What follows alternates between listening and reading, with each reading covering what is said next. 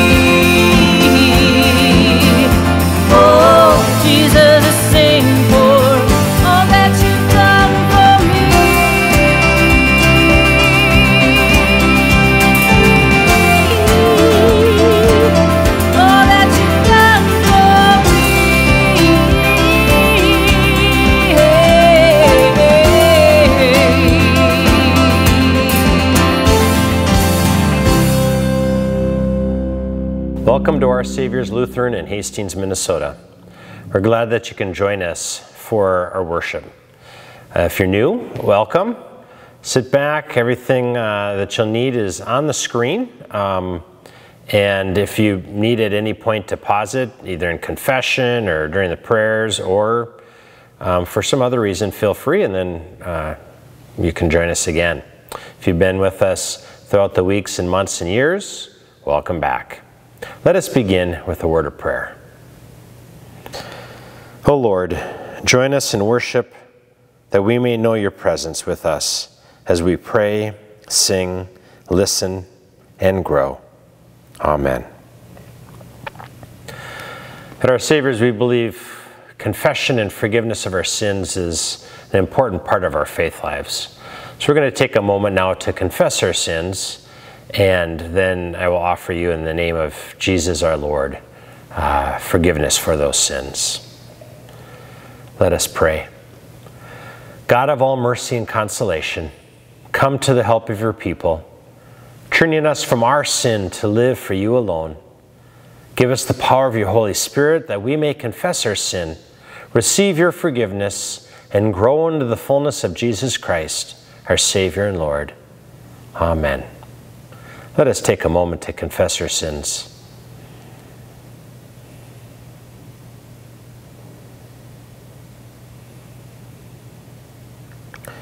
Gracious God, have mercy on us as we confess that we have turned from you and given ourselves into the power of sin. We are truly sorry and humbly repent. In your compassion, forgive us our sins, known and unknown, things we have done and things we have failed to do. Turn us again to you and uphold us by your Spirit so that we may live and serve you in newness of life. Through Jesus Christ, our Savior and Lord. Amen. God, who is rich in mercy, loved us even when we were dead in sin and made us alive together with Christ. By grace, you have been saved. In the name of Jesus Christ, your sins are forgiven. Almighty God, strengthen you with power through the Holy Spirit, that Christ may live in your hearts through faith. Amen.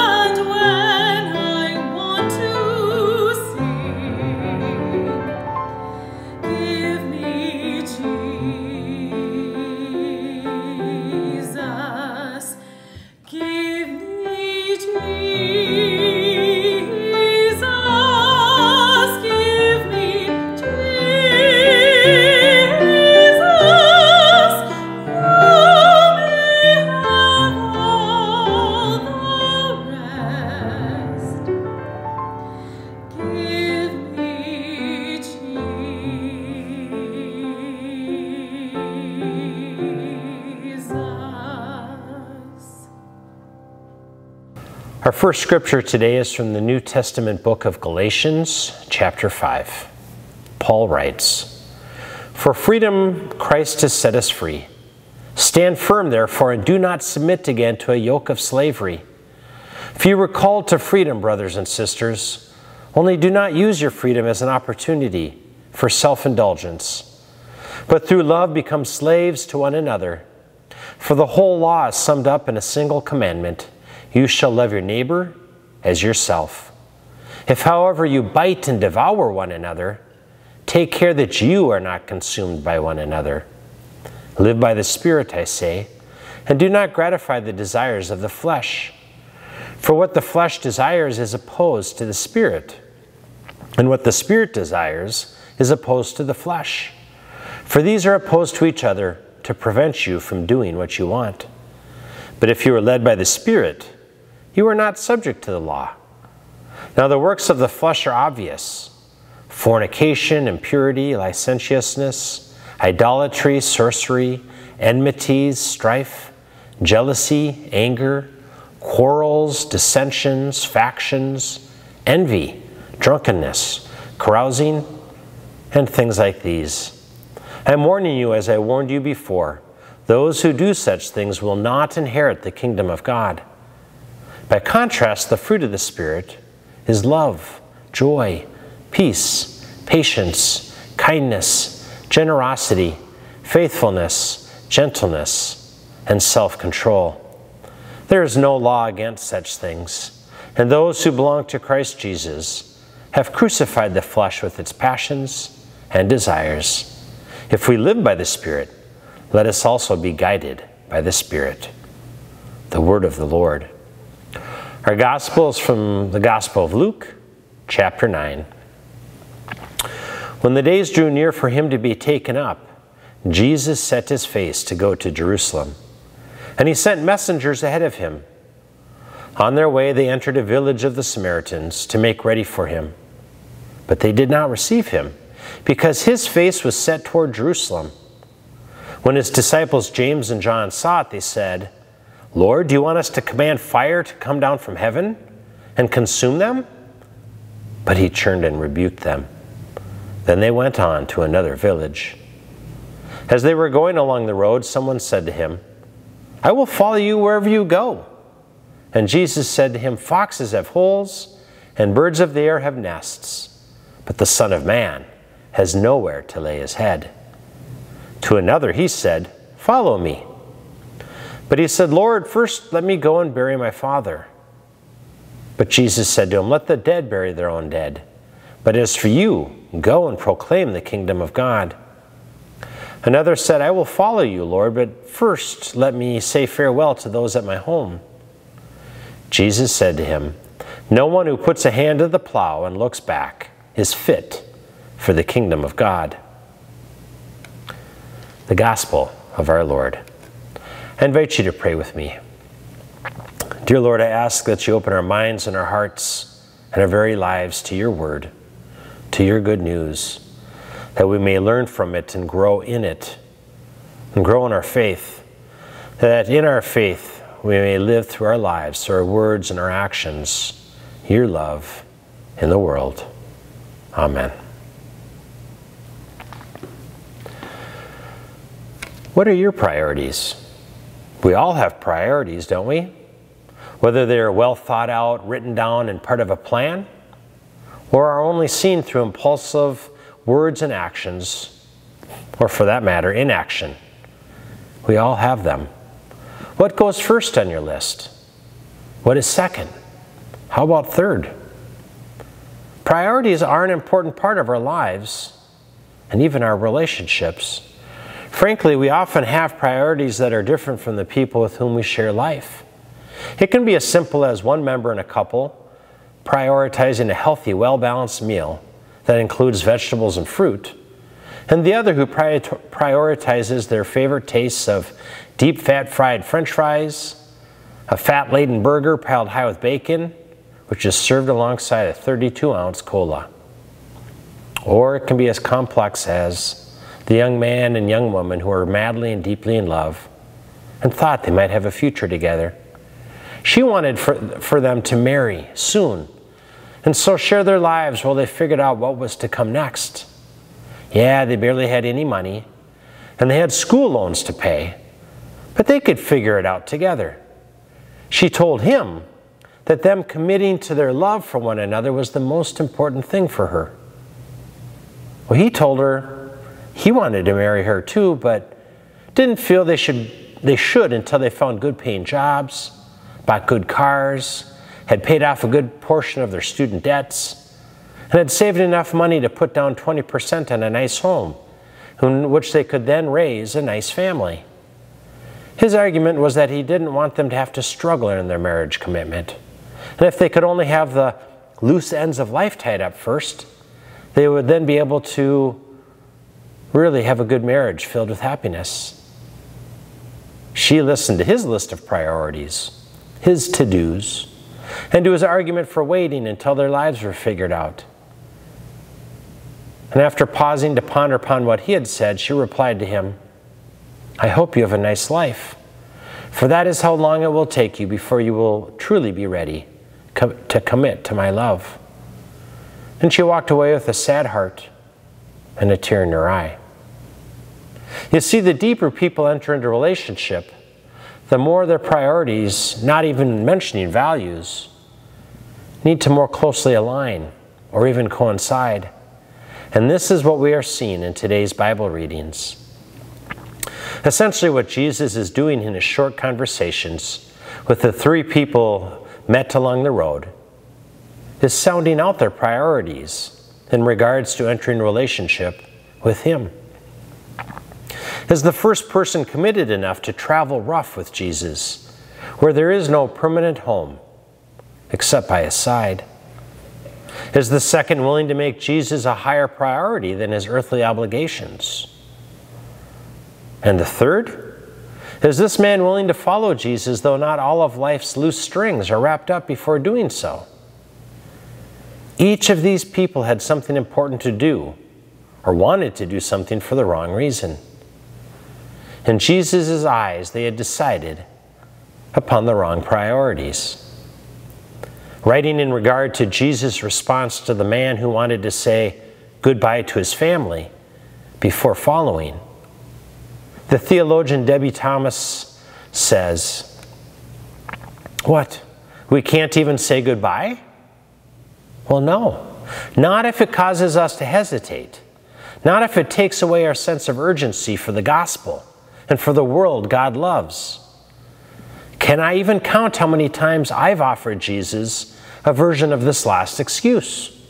Sure, Lord, I'll follow you. I'll give you everything. Everything I've got, I promise, but um not right now. Later, after I after I what? After I finish these last few super important projects? After I find a spouse? And lose 20 pounds and get over my dysfunctional past and finish raising my kids and spend a few more years cozying up to my boss and get a raise and buy a house and pay off my grad school loans and, and retire and churn 40, 50, 60, 70, 80? The list is endless. And that's precisely Jesus' point. If our to do list ends with Jesus instead of beginning with Jesus, we'll never get to Jesus at all.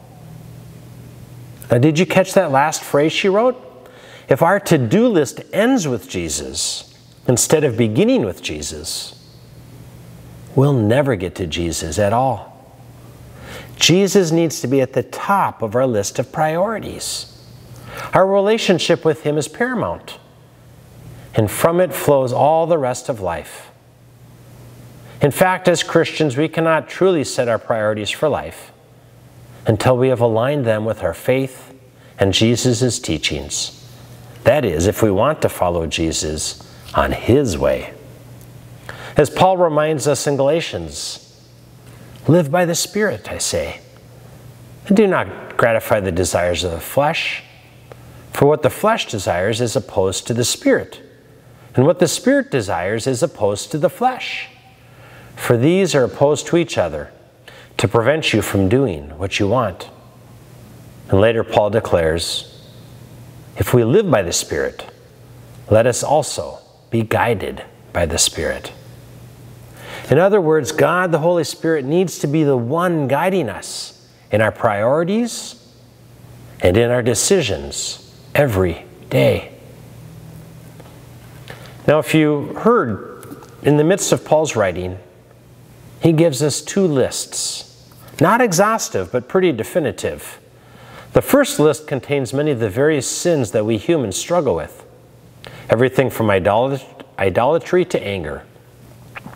It is, a, it is a list that can and will convict each of us. Now, the second list contains the fruits of life that grow from living by the Spirit things like joy, generosity, and gentleness. As humans who are both saints and sinners, as Martin Luther put it, and so our lives contain parts of each list at various times and in various ways. Our calling in life is to try and hear Jesus' call to follow Him each day, that the fruits of the Spirit that are growing in our lives might be shared, and the human sins that we struggle with may be confessed, forgiven, and worked at to leave behind us each day. You see, Jesus does not call us to follow Him only once or twice in our lives, but throughout the whole length and breadth of our lives. We have the daily call to communicate with our Lord through prayer, scripture, and listening meditation. But we also have the ongoing call to new things, new tasks, new directions, and new people to love. Things that can change the very course of our lives. Whether we feel as if Jesus is calling us to a new job in a new city, or to new friendships in the town that we've lived in for 42 years, each can change the course of our life for the better. For remember, our Lord calls us not to safe comfortability, but to godly growth that stretches us to be the person that God has created and does create us to be. And don't worry. If you might feel that you've missed your chance, well, Jesus' call to follow in God's priorities are daily and for your whole life long. So let me ask you a few questions. What are your priorities? Does Jesus top the list? How is he calling you to follow? right now? And can you hear him? To start your answer to each of those, let the Holy Spirit guide you in your answers today,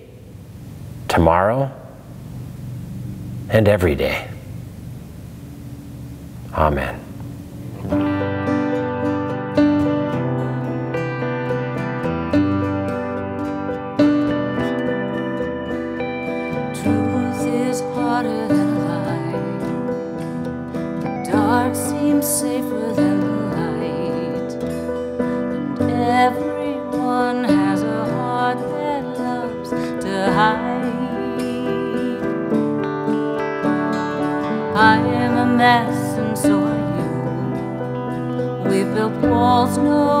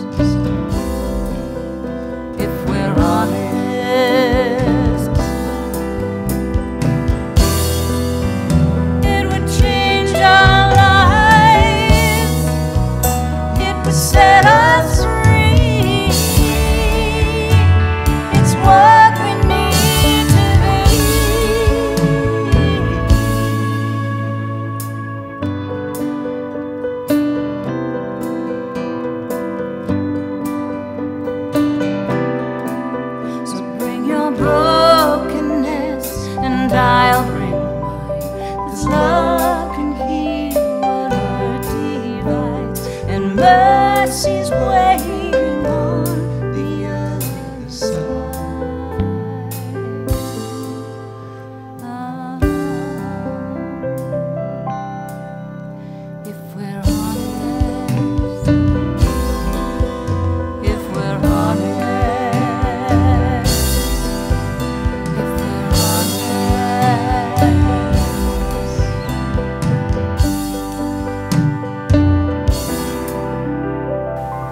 Invite you to confess your faith in the words of the Apostles' Creed along with me. I believe in God the Father Almighty, creator of heaven and earth. I believe in Jesus Christ, God's only Son, our Lord, who was conceived by the power of the Holy Spirit, born of the Virgin Mary, suffered under Pontius Pilate, was crucified, died, and was buried. He descended to the dead. On the third day he rose again. He ascended into heaven. He is seated at the right hand of the Father, and he will come to judge the living and the dead. I believe in the Holy Spirit, the holy Catholic Church, the communion of saints, the forgiveness of sins, the resurrection of the body, and the life everlasting. Amen. O Lord, hear us as we pray for the church those in need, and all of God's creation. Dear Jesus, lead us to prioritize you as first in our lives. We know this cannot simply be done once, but rather each day we need to strive to put you first, that we may live in your grace, live out your love, and follow in your footsteps. Lord, in your mercy, Hear our prayer. Master of the universe, the world's priorities are out of whack. We value power, wealth, status, and even infamy over humility, forgiveness, peace, and love between neighbors. Help us to act for your godly justice where and how we can. And when there's nothing more we can do to help, well, remind us that we can pray we lift up to you the victims of violence in Ukraine, Ethiopia, Sri Lanka, and across our own United States. Remind us of your priority to love one another as you love us, even if that means loving our enemies as you commanded us. We ask that you be with those who have been elected to govern us. Convict them to truly try and govern for the good of the people rather than for their own motives or their own power. Where they govern well, strengthen them, and where they don't, correct them. Be with all of us in our communities and as citizens, wherever we are. Lord, in your mercy, hear our prayer. Healing Lord, we lift up to you all those who are sick, struggling with a health condition fighting a disease, or wrestling with mental health. Today, we specifically ask for health for Amy, Juanita, Karen, Bill, Chris, Dorothy, and Jan. Each of us also holds in our hearts others who need your presence. Please give to all who are grieving the death of a dear one your solace in their sorrow. Lord, in your mercy, hear our prayer. Walk with your church as we strive to minister to your people in the world. Lead us into our days, O Savior, as we try to live lives of active and living love in our words and our actions.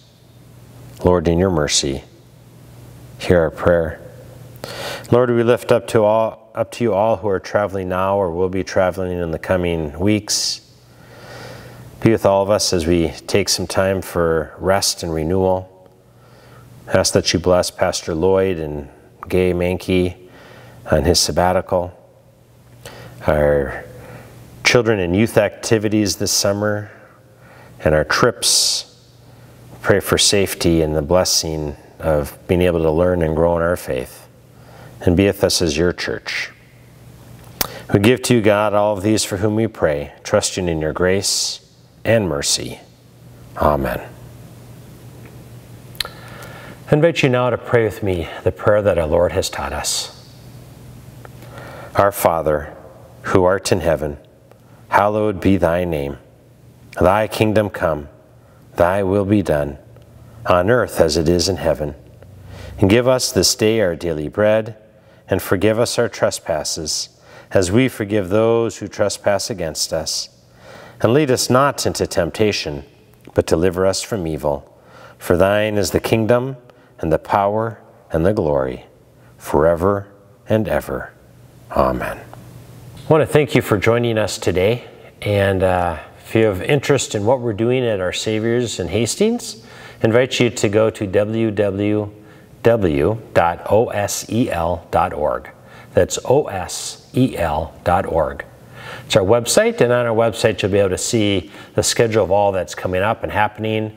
Um, you'll be able to peruse through um, past worship services and sermons and uh, musical offerings and uh, find ways that you can join with us in ministry for our Lord. You can also contact us in that way too with any questions or anything that we need to know. At this time, I invite you to receive the benediction. The Lord bless you and keep you. The Lord's face shine upon you and be gracious to you. The Lord look upon you with favor and give you peace. In the name of the Father, the Son, and the Holy Spirit. Amen. Go with peace into your life and serve the Lord. Amen.